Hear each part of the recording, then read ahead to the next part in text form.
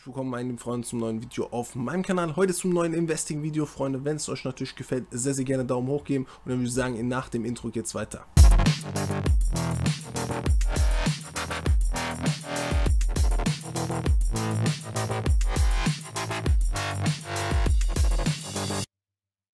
Ja, Freunde, dann würde ich sagen, fangen wir an mit den Verkäufen. Ihr seht, 27 Objekte habe ich verkauft.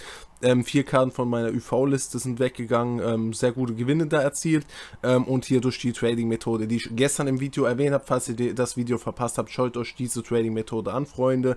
Ähm, haben wir hier noch eine Ladung Fitnesskarten verkauft. Wie gesagt, schaut euch einfach das Video an. Ähm, dann wisst ihr alles zu diesen Karten. Wir werden natürlich äh, heute noch äh, natürlich schauen, welche Top-Partien können kommen, Freunde. Und wir werden uns noch die neue SBC anschauen, die auch gekommen ist. Ähm, werden wir natürlich erstmal bei den SBCs reingehen.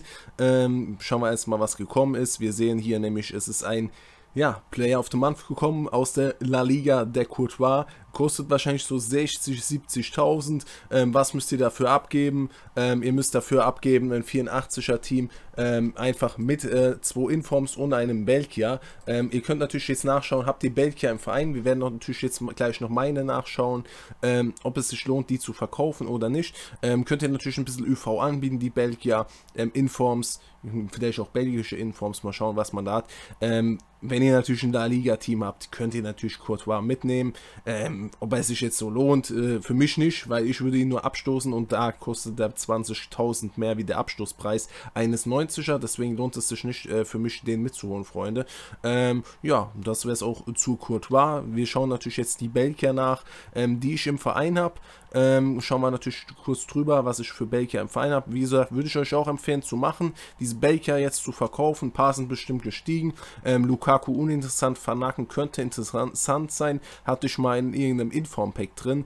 Ähm, ist aktuell aber nichts wert. Ähm, vielleicht steigt der noch. Company ähm, ist auch, glaube ich, nicht so teuer. Ne, ist noch nicht gestiegen, der gute Company.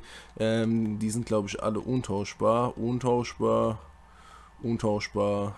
Und er hier tauschbar. Okay, Monet könnte man noch verkaufen. Ähm, und er, ja, okay, er kostet ein bisschen was. Zum Beispiel ein Monet könnt ihr jetzt easy für fast 4000 verkaufen. Den werde ich auch reinstellen, weil das ist in Ordnung. Ähm, das nehme ich mit an Münzen. Der Rest wird wahrscheinlich nichts wert sein. Auch eher untauschbar. Ihr seht sehr, sehr viel untauschbar am Start.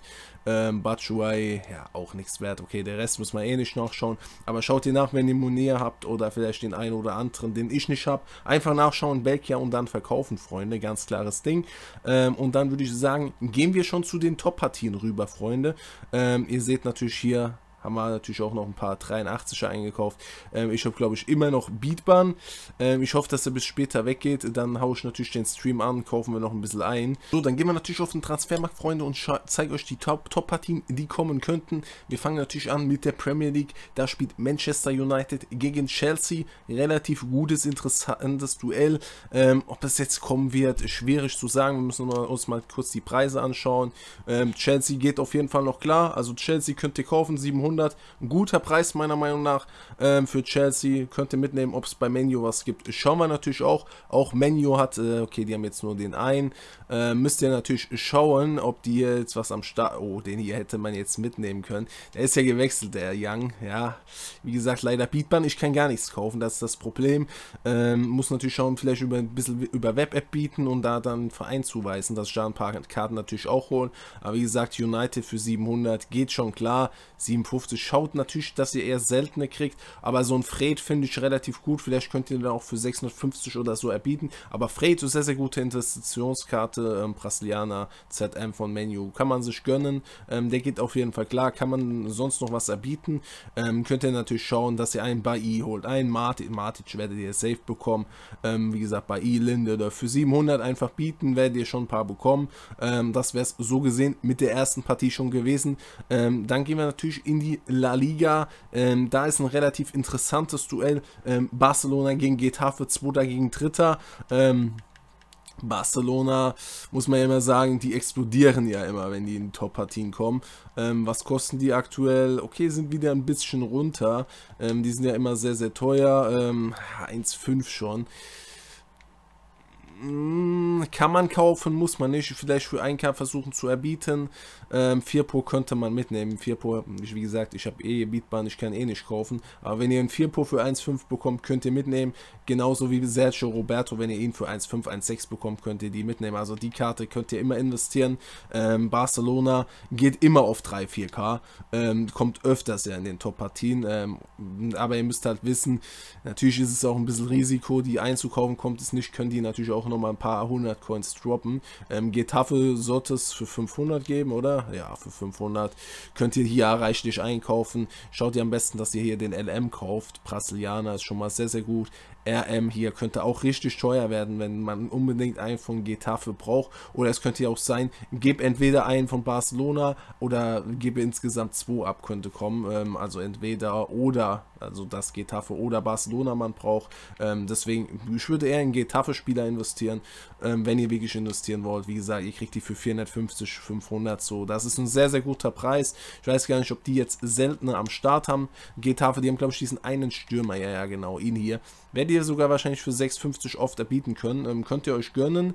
Ähm, ich glaube, sein Abstoßpreis ist 600. Ähm, 628 oder 632, so irgendwas. Ähm, den hier könntet ihr auch bieten. Wie gesagt, ich kann es halt jetzt nicht vormachen, Freunde, ähm, weil der Beatbahn am Start ist.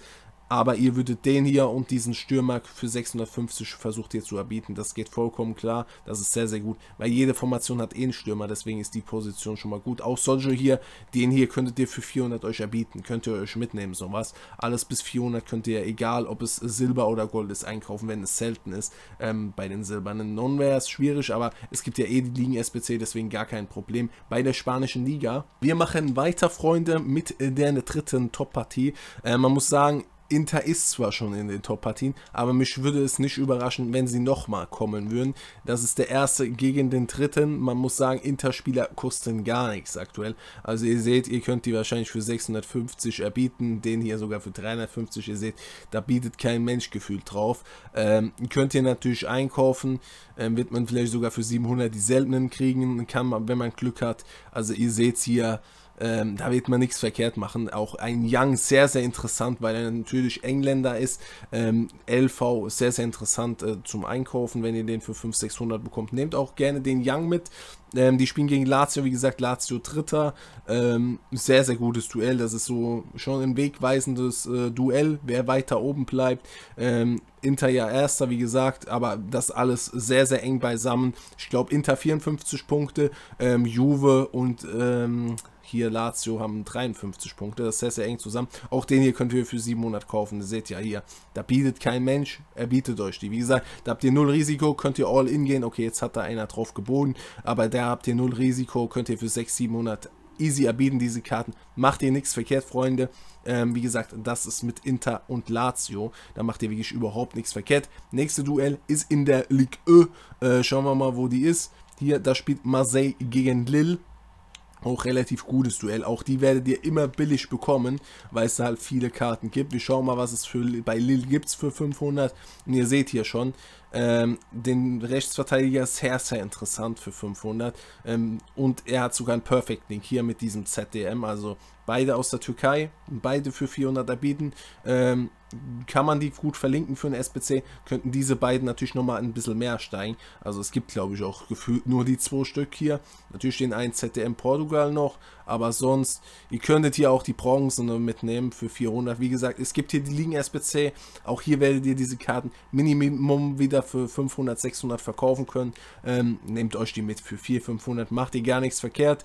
Ähm, nächster Duell ist, äh, also nächste Mannschaft besser gesagt, ist natürlich Marseille. Hier schauen wir natürlich auch, ob es da was gibt. Auch hier seht ihr, gibt es On-Mass-Gold-Spieler für 400, 450. Wie gesagt, kommt es nicht. Ihr könnt die für 500, 600 easy wieder reinstellen und verkaufen. Hier auch ein Sakai, sehr, sehr gut. Rechtsverteidiger. Wie gesagt, das ist, äh, kann man sich gönnen. Bis auf sowas würde ich nicht kaufen. So ein Torhüter Bronze für, für äh, würde ich nicht kaufen. Den Rest könnt ihr hier theoretisch auch alles mitnehmen. Nehmt ihr euch einfach mit für 400, 500. Macht ihr gar nichts verkehrt, Freunde. Also das sind meiner Meinung nach sehr, sehr gute Preise. Ähm, aktuell Top-Partien könnte man wieder einkaufen. Ich werde natürlich nicht in Masse investieren, weil ich aktuell äh, ungefähr 3000, 4000 ähm, 83er gekauft habe. Ihr seht es ja hier, ich kann euch mal kurz zeigen. Wie gesagt, Freunde, ähm, bin ich natürlich für das OTW-Event am Einkaufen, für die 83er. Ähm, Habe ich sehr, sehr viele gekauft. Wir können mal schauen, ist was von der Liste gerade weggegangen. Äh, Monier ist sogar weggegangen für 3,8. Schmeckt auf jeden Fall, nehme ich gerne mit, diese Münzen für ihn. Ähm, Server mal wieder on point. Und dann würde ich sagen, gehen wir noch zu dem letzten Duell. Und das ist so ein Geheimtipp von mir. Ähm, wir gehen hier äh, für in die österreichische Liga. Hier spielt der Erste gegen den Zweiten. Hier spielt Salzburg gegen Linz, Freunde. Ähm, was würde ich euch hier empfehlen? Ich würde euch einfach hier empfehlen, die Silbermethode zu machen. Macht hier die Silbermethode und bietet auf jeden Spieler von dieser Liga 150. Ihr könnt natürlich auch von Salzburg oder von Linz für 150 holen, aber ich würde euch empfehlen, weil es wird wieder so sein, meistens wenn Schweiz österreichische Liga ist, komm nicht, äh, gib äh, einen von Linz oder gib einen von ähm, Salzburg ab. Da kommt meistens, gebt drei aus dieser österreichischen Liga ab. Deswegen würde ich euch empfehlen, ähm, einfach Silberspieler 150 und dann einfach durchbieten. Dann bietet ihr, bietet ihr, bietet ihr, ähm, werdet ihr relativ viel bekommen, ähm, macht da nichts verkehrt. Schaut, der Torhüter würde ich jetzt nicht so viele kaufen, aber den Rest könnt ihr auf jeden Fall einfach bieten, bieten, bieten ähm, und dann einfach in den Verein nehmen oder auch unzugewiesene Liste damit füllen, weil ich glaube, dass dieses Duell schon kommen wird ähm, und dann macht ihr 500, 600 Coins pro Karte, weil meistens ist es so, also das war das letzte Mal, als Bern gegen Basel in der Schweizer Liga kam, ähm, hat man, sind die einfach alle auf 600, 700 gestiegen, die ganzen silbernen, weil man muss hier schauen, in dieser Liga, es gibt ja nicht so viele Goldkarten. Ähm, ich glaube, weiß nicht mal, ob Linz überhaupt Goldkarten hat. Nein, haben die nicht mal. Ähm, Salzburg hat ein paar Goldkarten, nicht viele. Ähm, ja, meistens sind auch weggewechselt. Junusovic vielleicht für 350 könnt ihr euch mitnehmen. Wenn ihr den hier, ähm, ja, okay, Mino Mino kriegt man nicht mehr. Ähm, Ramalho vielleicht, okay, könnte man mitnehmen für 400, 500, der geht noch klar.